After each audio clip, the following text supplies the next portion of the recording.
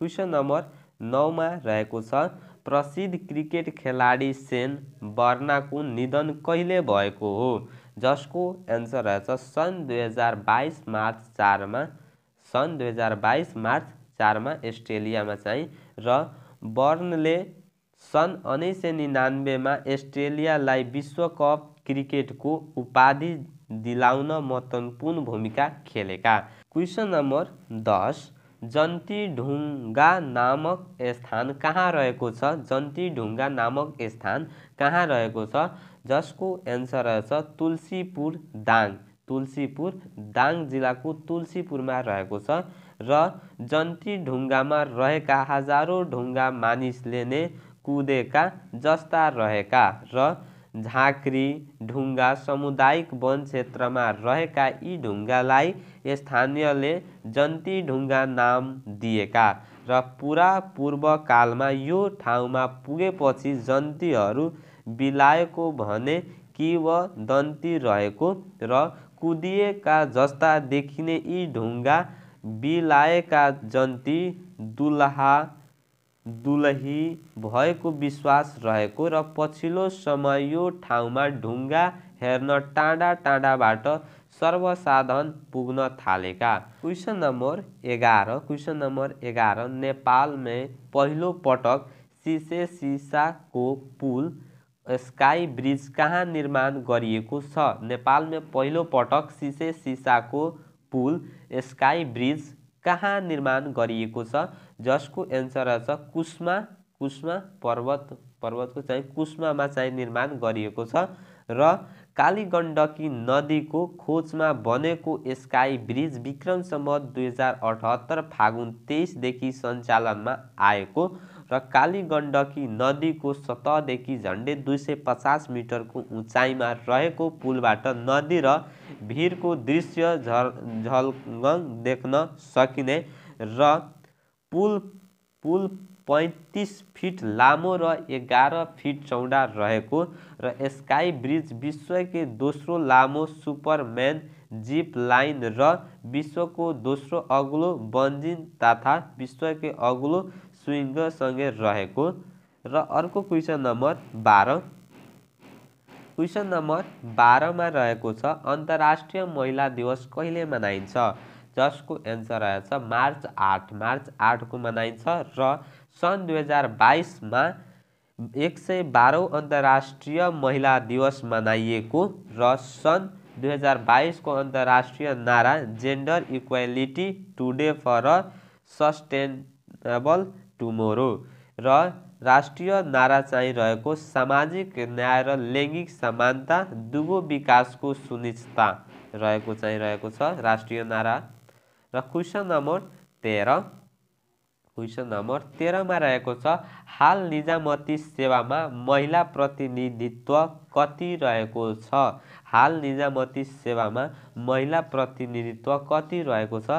जसको एन्सर रहेछ छब्बिस दशमलव पाँच नौ प्रतिशत दुई हजार दुई हजार अठहत्तर फागुनसम्म दुई हजार अठहत्तर फागुनसम्म र निजामती सेवामा झन्डै एक दशकमा महिलाको प्रतिनिधित्व दोब्बरले बढेको र निजामती सेवामा अब दुई हजार सडसठी अडसट्ठीमा तेह्र दशमलव आठ चार प्रतिशत र महिला रहेकोमा अब दुई हजार सतहत्तर अठहत्तरमा छब्बिस दशमलव पाँच नौ प्रतिशत पुगेको र निजामती किताबखानाबाट प्राप्त विवरण अनुसार हाल निजामती सेवा अठासी हजार पाँच सय अन्ठाउन्न कर्मचारी रहेका जसमा तेइस हजार पाँच सौ अन्ठाउन्न महिला कर्मचारी रहेका जबकि एघार वर्ष अघि महिलाको सहभागिता दस हजार सात सय तिहत्तर मात्र थियो।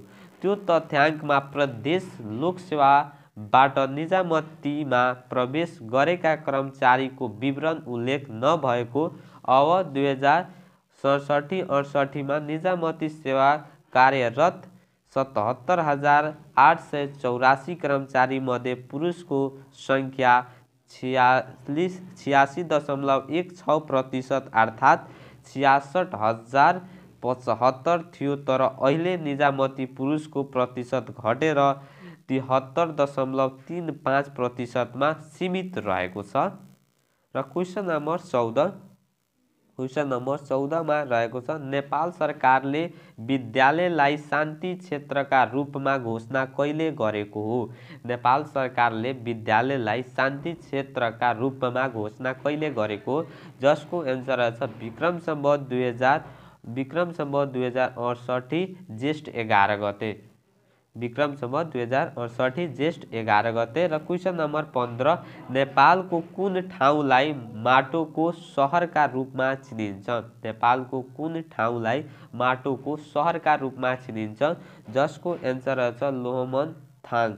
लोहमन थाङ मुस्ताङ जिल्लाको लोहमन थाङको चाहिँ ठाउँलाई क्वेसन नम्बर सोह्र विश्वको सबैभन्दा लामो trekking route the great Himalayan trail कुन देशमा रहेको छ? जसको एन्सर रहेछ नेपाल। नेपाल देशमा रहेको छ।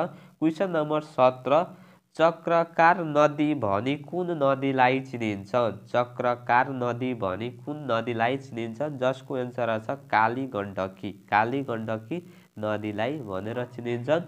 क्वेसन नम्बर अठार नेपाल राष्ट्रिय तथा अन्तर्राष्ट्रिय खेलाडी सङ्घ एनएनआइपिएद्वारा आयोजित सोह्रौँ एनएनआइपिए अवार्डमा सर्वोत्कृष्ट घोषित हुने खेलाडी को हुन् जसको एन्सर रहेछ विराज महरजन। विराज महरजन फुटबल पुरुषतर्फ र अरुण शाही भलिबल महिलातर्फ। र राष्ट्रिय महिला भलिबल टोलीकी कप्तान अरुणा र राष्ट्रिय पुरुष फुटबल टोलीका पूर्व कप्तान विराजलाई सर्वोत्कृष्ट खेलाडी घोषणा गरिएको र दुवै समान एक लाख रुपियाँ नगद प्राप्त गरेका। र क्वेसन नम्बर उन्नाइस क्वेसन नम्बर उन्नाइसमा रहेको छ स्पाइनी बेबलर स्पाइनी बेबलर भनेर कुन चारालाई भनिन्छ जसको एन्सर रहेछ काडे भ्याकुर। काडे भ्याकुरलाई क्वेसन नम्बर बिस। सर्वप्रथम बजेटको सुरुवात कुन देशबाट भएको हो? सर्वप्रथम बजेटको सुरुवात कुन देशबाट भएको हो? जसको एन्सर रहेछ सन् सत्र सय तेत्तिस बेलायतबाट। बेलायतबाट क्वेसन नम्बर एक्काइस क्वेसन नम्बर एक्काइसमा रहेको छ। अर्काको गुडमा फुल पार्ने चरा कुन हो? अर्काको गुडमा फुल पार्ने चरा कुन हो? जसको एन्सर रहेछ कोइली। कोइली हो। र नेपालमा पाइने करिब अठार प्रजातिका कोइली मध्ये चार प्रजातिले आफैले बनाएको गुडामा फुल पारेर चल्ला कोर्छन्। तर बाँकी प्रजाति कोइलीले अरू चराको गुडमा फुल पार्छन् कोइली चरा निकै नै बाठो हुन्छन्। कोइलीले आफ्नो फुल जसले सजिलै कोर्न सक्छन् त्यही चराको गुडमा फुल पार्छ।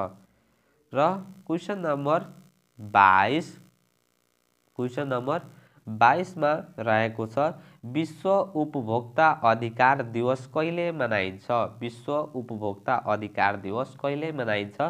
जसको एन्सर रहेछ मार्च पन्ध्र। मार्च पन्ध्रको मनाइन्छ र क्वेसन नम्बर तेइस महेन्द्र संस्कृति हाल नेपाल संस्कृति विश्वविद्यालयबाट विद्यार्थी गर्ने पहिलो व्यक्ति को हुन्? जसको एन्सर रहेछ डक्टर रमेश चन्द्र अधिकारी। डक्टर रमेश चन्द्र अधिकारी हुन्। र अन्तमा म फेरि भन्न चाहन्छु मेरो च्यानलमा नआउनुहुन्छ भने मेरो च्यानललाई सब्सक्राइब गर्नुहोस् र बेलायकनमा प्रेस गरिदिनुहोस् कि लोकसेवा सम्बन्धित र एजुकेसनसँग सम्बन्धित कुनै पनि भिडियो नछुटोस्। फेरि मिल्नेछौँ नेक्स्ट भिडियोमा। तबसम्मको लागि जय हो। जय नेपाल।